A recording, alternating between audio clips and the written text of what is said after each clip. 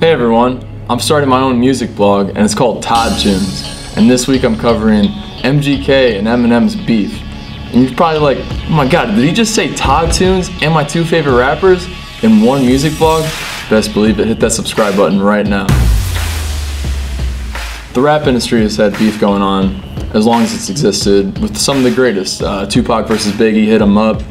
Uh, Jay-Z versus Nas with Ether but I can't really talk about them because I really didn't grow up with their music. You know who I grew up with their music? MGK, aka Machine Gun Kelly, and Eminem. So Eminem just put out a surprise album called Kamikaze, which definitely shook the industry and left me shaking in my boots.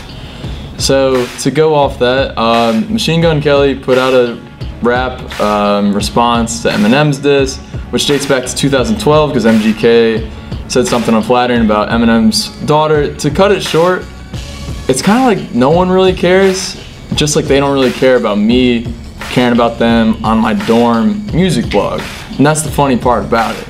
But I'm gonna continue with this thought, because Rap Devil debuted on number one on Apple Music, while Eminem's album, the whole entirety of it, did not do as well as MGK's singular disc. So that's it for Todd Tunes. See you next week.